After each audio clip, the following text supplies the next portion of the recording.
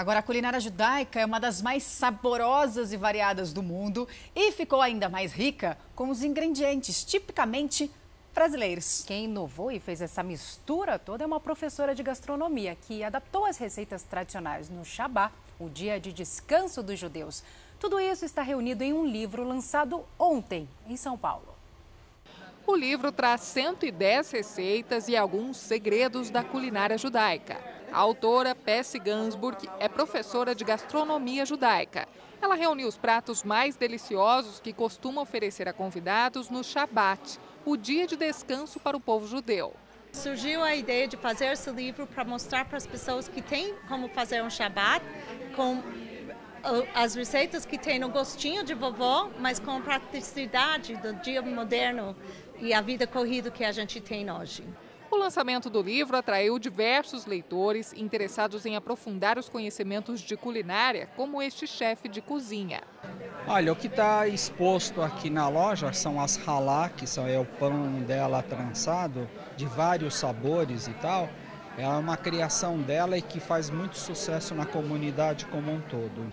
As receitas são originárias dos quatro cantos do mundo. Vão das mais simples às mais sofisticadas. E o livro ensina o passo a passo para preparar cada uma.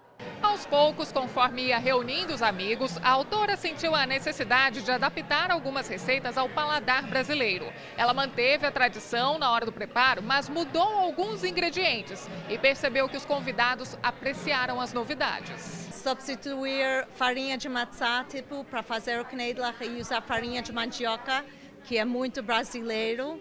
Uh, uh, mandioquinha, também uma verdura bem brasileiro, que eu acho que as avós na Rússia não tinham, eu coloco na sopinha também. No Shabat, o período que vai do pôr do sol de sexta-feira ao pôr do sol de sábado, a refeição é tradicional.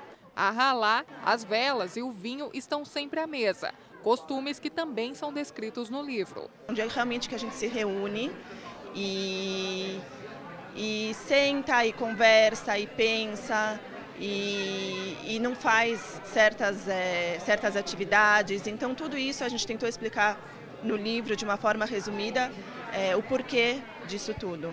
O lançamento do livro reuniu também gente de fora da comunidade judaica. O livro é, uma, é na verdade, não somente para a comunidade judaica, mas todo mundo que quer se reunir com a família. É um livro que pode fazer uh, o seu Shabbat na sua casa.